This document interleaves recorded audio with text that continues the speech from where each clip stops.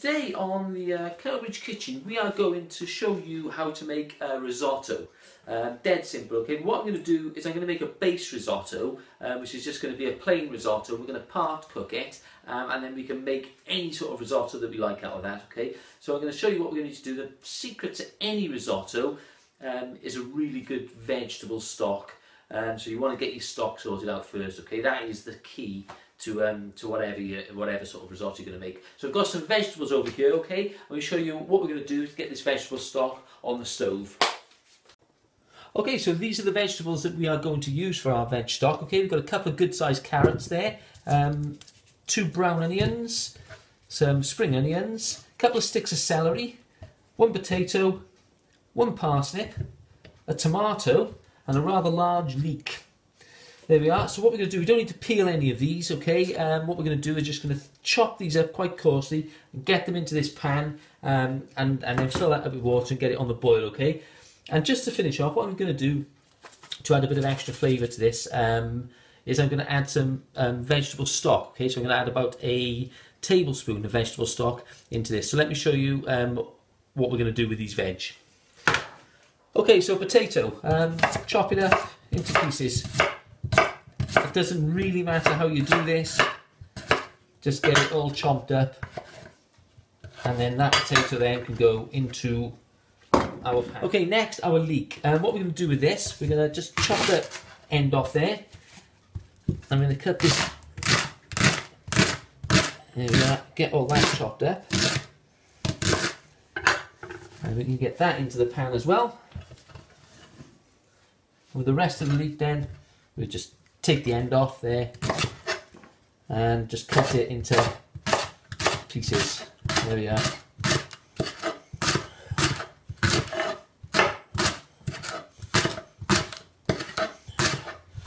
Okay, there's quite a lot of leek there.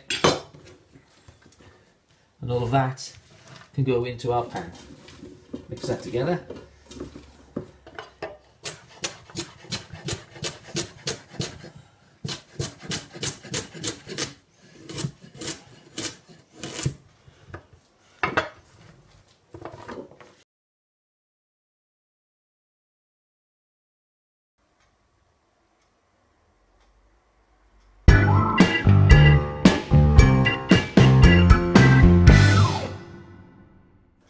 Okay, so next then we're going to chop up our spring onions, um, our brown onions, our tomato, and our parsnip. Okay, so we'll chop them up into small pieces and throw them in the pan as well.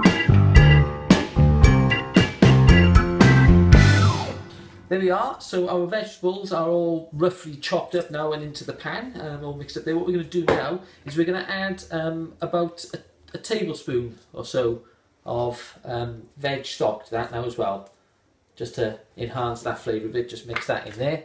And then what we need then is about two and a half pints of water, get that on the stove and get that boiling. Into the pan.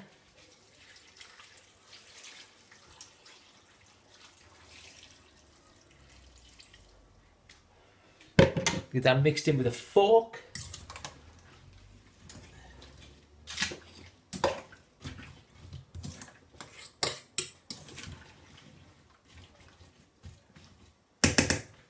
On the stove, bring that to the boil.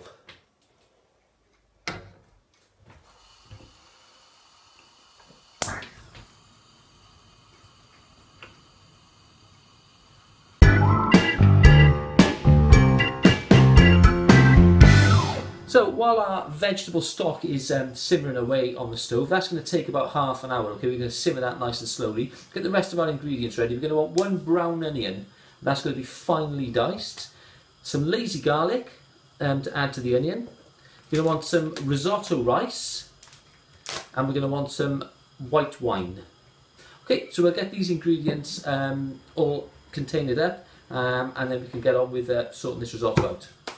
So with our risotto rice, we've got our onions and garlic now chopped up there. With our risotto rice, we're going to want 350 grams of this. Get that open. So let's just get that down to zero. 350 grams.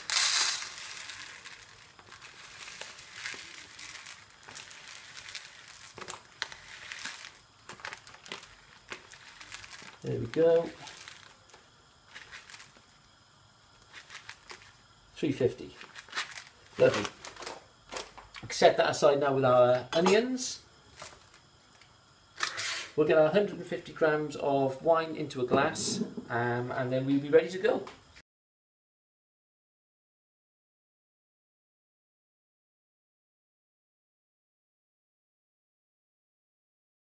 So um, our stock has been simmering away here now for just about half an hour, okay? So we take the lid off this, all of that lovely flavour, oh, it's going to come out. And that smells pretty fantastic, smells beautiful. So what we're going to do with this, uh, get the heat off it now. We're going to drain this stock through a colander into a large bowl and then we can just discard all the veg. So there we are. So being quite careful now not to spill any of this, we're going to get our veg stock, our pan, and we are just going to tip this into the colander and let the juice flow into the other saucepan. Yeah, a little bit at a time, let that go through.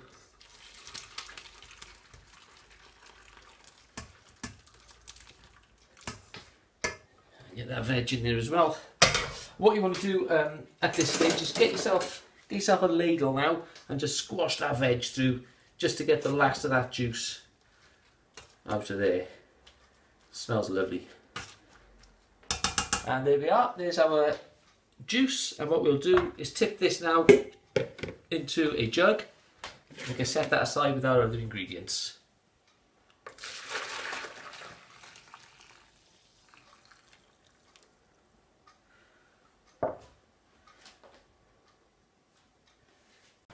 Okay, so um, at the stove, what we have now, we've got um, we've got our medium-sized saucepan, we've got a bowl of um, vegetable stock, our white wine, our onions and garlic, and our risotto rice. Everything we need there to get our base risotto underway. Okay, so let me show you what you need to do. Okay, so first things first, um, into this pan here, we're going to want to get ourselves about 40 grams of butter. Okay, so 40 grams of butter straight into the pan and get that melting.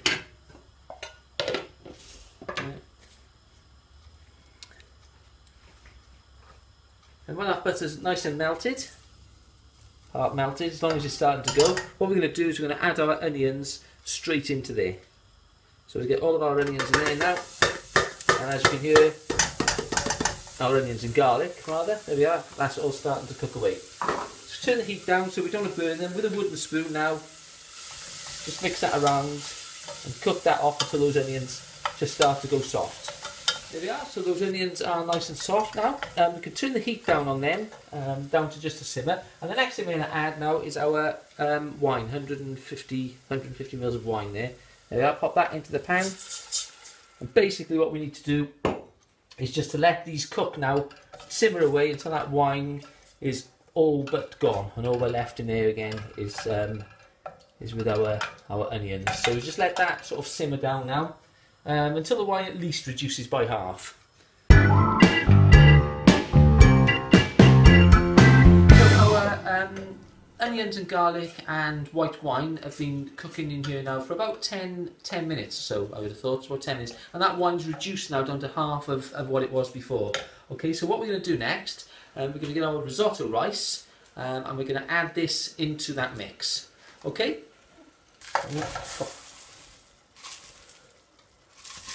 there there's our rice into the mix and what we're going to do now is to mix that in so that it gets coated with the wine and the onions.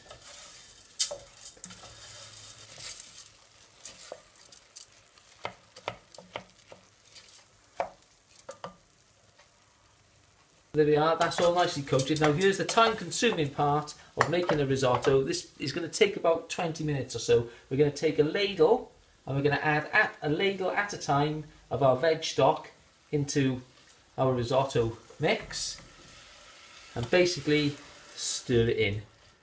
And you're going to need to do this, um, so it's on a medium heat, so it's actually cooking away, but you're going to need to do this um, virtually constantly for about 18 to 20 minutes and that risotto will just absorb all of that vegetable stock and then as the vegetable stock has vanished and it's dried up get your next ladle in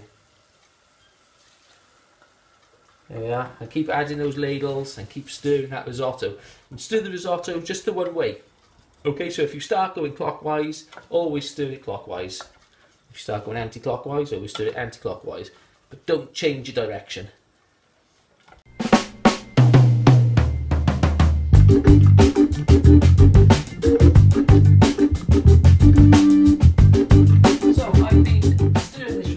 Now for somewhere in the region of 20 to 25 minutes, adding a ladle at a time of this uh, veg stock, okay? I'm going to pop the last ladle in now, and we're going to mix this in because this risotto is virtually ready. Um, and when I say virtually ready, because this is a base risotto, what we're going to do, we're not going to cook it 100%, we're going to cook it about 80%. Um, so it's almost there, but not quite. So we'll just stir this last um, ladle of stock in, and then we'll be able to get this off the heat. So as you can see, that it's nice and juicy, not too gloopy, but not quite 100% cooked. And I added, um, from the stock that we had here, I got about probably two pints I used, ladle at a time. I got two to two and a half pints of stock in here, and it's all been absorbed by that risotto rice. Okay, let's just check this. So get yourself a fork and take a little bit of the rice out, and this should be slightly crunchy. Mm, slightly crunchy, very tasty, but not 100% cooked. Okay, let's get this off the heat, get it into a container. And there we are. So we'll get all of that risotto out into our dish. Hopefully it'll fit. There we are.